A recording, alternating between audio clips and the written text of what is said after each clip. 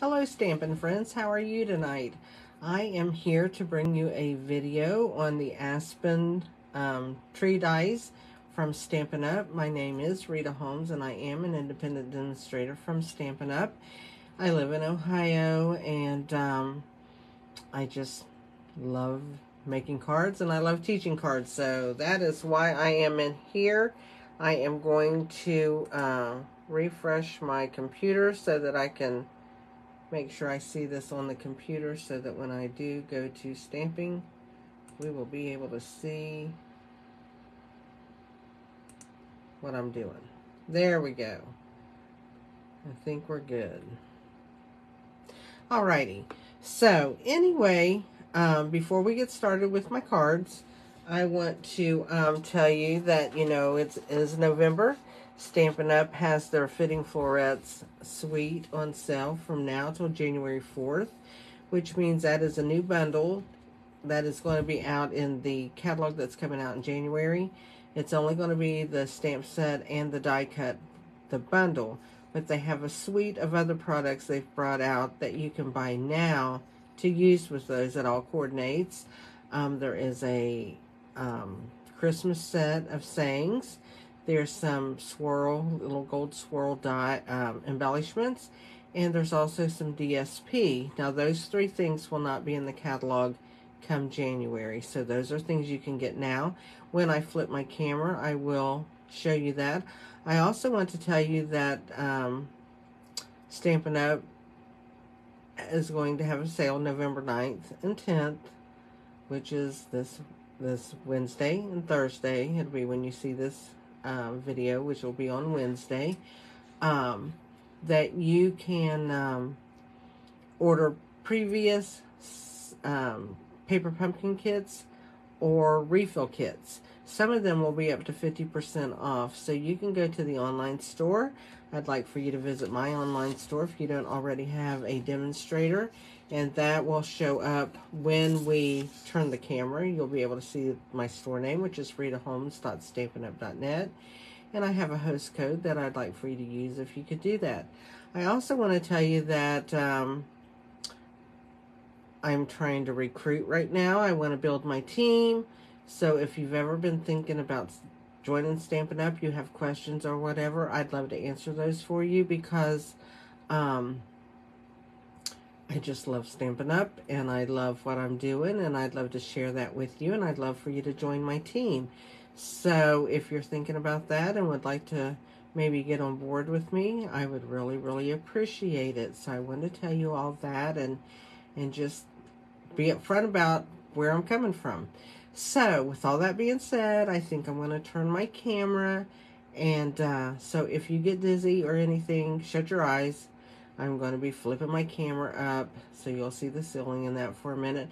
But while I do that, or before um, or after, if you have not subscribed to my channel, I would love for you to do so just hit that little um, bell and subscribe and uh, make sure you get the notifications for that so you'll know that when I when I'm on I also would like for you to share the video and let some of your other Stampin' friends see what I do in that and um, maybe they'll get ideas and we can all make new friends um, and also don't uh, be shy. Give me a comment. Let me know what you're thinking when you're watching my video. I would love it.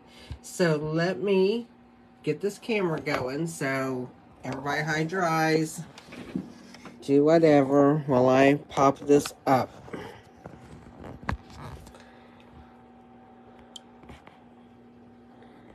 And there we go. I think we're good. So let's sit down and see how we're doing here. I think we're good. Okay, here's my PDF, which is on my um, Facebook group called Stamp Crazy VIP. You are more than welcome to go there and um, got that off center, don't I? Pull it down. You can go there and pick up any of my PDFs on my cards that you see. And I don't know why I look so crooked. Must be my phone's crooked. I'm not going to try to straighten it. I'll just straighten the cards up. There we go. let's do that. So anyway, um, but you can get the PDF over there. It gives you a list of everything that I used and how I did the card. Also, these are the cards. We're only going to be doing one of them. We're going to be um, mixing up a little bit of what I got here. So, um, but I did use our, our uh, brushed metallic papers that I like really well. We're going to be using the gold. The um, DSP that I used is the textured chic paper. They have one side of it all has gold that goes through it. It is right here. It's beautiful paper. Um, it's got a stamp set that goes with it too. I just have been using the paper. I just love paper. But it's got like, there's a pinkish color with gold dots. There is, here's the one that I'm using tonight. It just got a lot of color in it. And it's got a pinks and pool parties and gold. This is your green soft succulents and golds. And then that is like, kind of reminds me of trees with the wood texture over it. Here's like crushed curry and some pinks and golds. And um, kind of a watercolor flower imprint on there. Is that. Here's some, um, it looks like it might be Flirty Flamingo or Calypso Coral with gold. And then there's flower images with the greens and the, and then this is just the greens and gold with snowflakes, white with different greens. Really different, really pretty. Um, I think that's why it's called textured chic. It's got that really chicish look to it and just really, really pretty. Kind of different to use. I really like that about it. So let's get started with our cards. There is my information if you need it, my online store, my host code, and uh, that you can always get a hold of me there. You can uh, get a hold of me by through the comments here. So let's get together and show you. I'm mixing this up a little bit. Um, I'll tell you a little bit about these cards. This is like a brushed gold with the Texture Chic Designer Series paper. I did um, that soft succulent with the gold. Um, I did a sentiment with the Wildlife Yonder because I really like this Sending Birthday Wishes. And uh, just cut that and I put a leaf on the inside to write a sentiment or whatever in there. This one, I used the, um, what I used was, for my saying, I used these Charming Sentiments that has the dies that match them. Like this is the die that I used with wishing you the happiest of birthdays and it just cuts it out like this which I think is pretty cool. And I used the perched in a tree which actually bundles with the aspen dies used the bird and watercolored it and then used my textured chic paper back, back there. So that's what I used on that card. And this card here is just the back side to this paper done the same way Okay, so that's three cards. Now tonight, we're going to use these Evening Evergreen as our card base, and it measures five and a half by eight and a half, scored at four and a quarter. So we'll just take and fold that and burnish it so it stays closed. We'll move these cards and that up out of the way a little bit. Here's what the aspen dies look like if you haven't seen those, is this one, this big oval. That looks like an Easter egg to me. But that's what I used, and I've already cut it out, so let me show you. I cut this five and a quarter by four, and then this laid on here. And as you can see, that's how it cut it out, okay? So that's what I used there. And then I took, for my leaves, I used this big leaf here and this small one that's sitting right here inside the bird, I used those two leaves and cut out my leaves for the cards. So, we will, and what I did, this is five and a quarter by four. So I cut this down to five and an eighth by three and seven eighths so that it would fit right on the back and see how pretty that is. So what I did, we're going to turn this over and I'm going to put glue along the outside edge. And that way,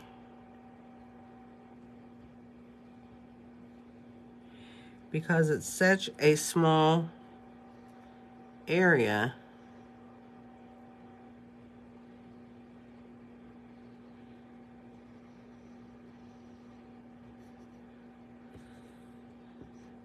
And I am going to stick it on a couple little, just a couple tiny little dots to hold the tree trunk down, okay?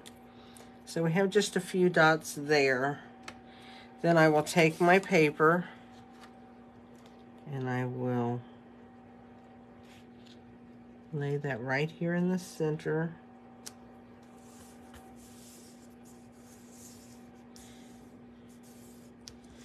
Me turn it over and show it to you. Isn't that pretty? How that just shows through like that. I love this paper. So now what I'm going to do is I'm going to just go ahead and glue this on my card front because I do have a little bit of sticky back here just from um, where I glued that down. So let's turn this around. We're going to glue this here. That's going to be on our card base.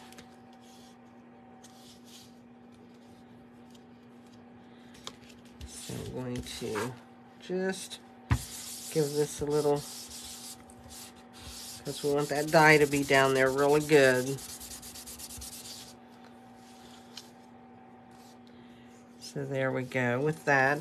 I'm going to go ahead and I'm going to glue this to the inside because I'm not going to stamp on it. I'm just going to add a leaf to it. So let's go ahead and put this down.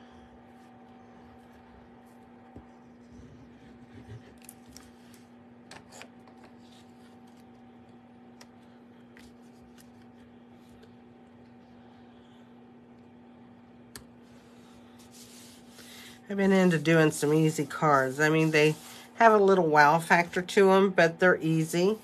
I'm going to add my leaf to the inside, and I cut a gold one to go in that.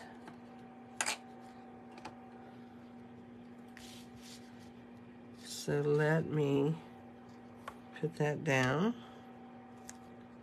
Well, stuck to my finger. There we go, with that being down. Now what I'm going to do with these, I'm going to go ahead and I'm going to just put a dimensional on my, in the center of this little leaf. And I'm just going to add that to the front of this leaf. And then I'm going to take this leaf and I'm going to go ahead, I'm going to put it on here, but I'm going to put it on with some dimensionals. Okay, let's do this. One up here, one right here. I'm going to leave it open down here a little bit because I'm going to be sliding my cardstock under that, I think. So let's just put our leaf maybe about right here. And then I'm going to take my piece of, I used Very Vanilla because I didn't want it stark white. And here's my Sending Birthday Wishes, and I'm going to stamp that in the center. And I'm going to use soft suede. I didn't want to use black. I wanted to use something that would be a little contrast, but not black. So I'm doing soft suede. Or is it early? Yeah, soft suede. That's what I've got. And I'm going to take that. Stamp that right in the center. And that piece measures three quarters by four inches. so that I can um, cut my edges off a little bit.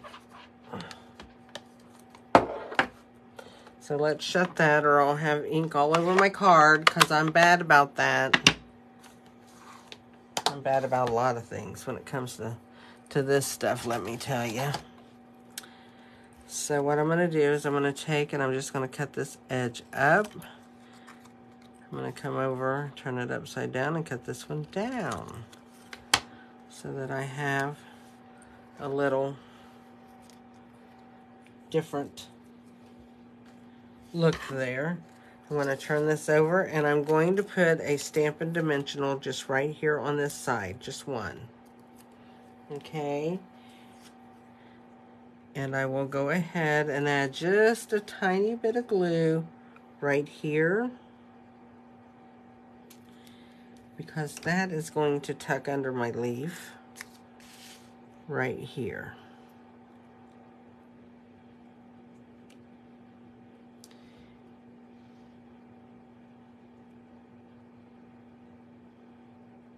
And that will hold that down.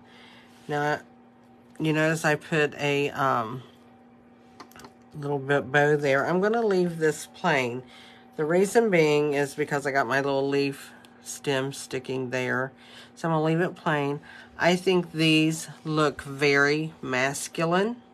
So I think they make nice masculine birthday cards. And that is what I'm going to be using these for.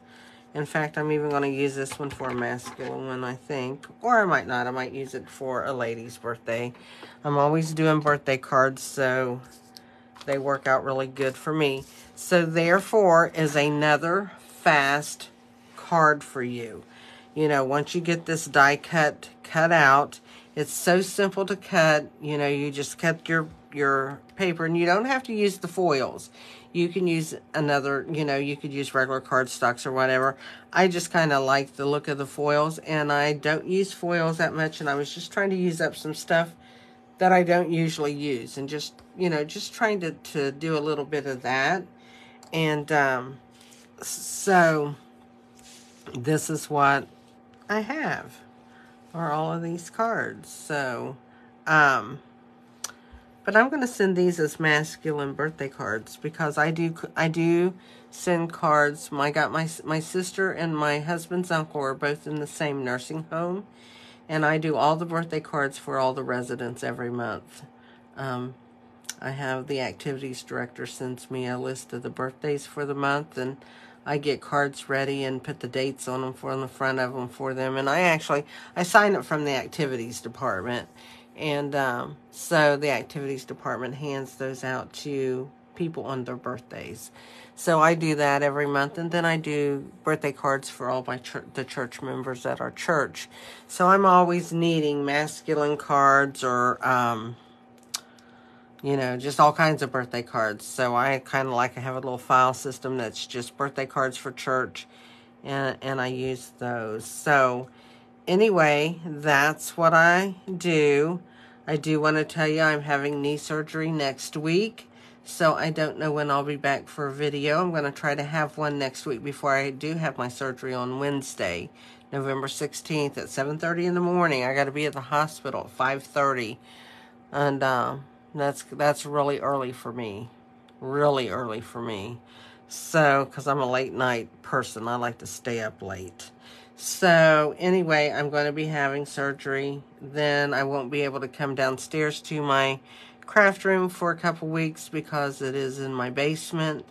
And um, even though they say there's no restrictions on steps, I have 13 steps that come down to my basement. So I got to wait until my leg gets strong enough to, so I don't fall. So with all that being said, I will see you again, hopefully one more time before I do have that surgery.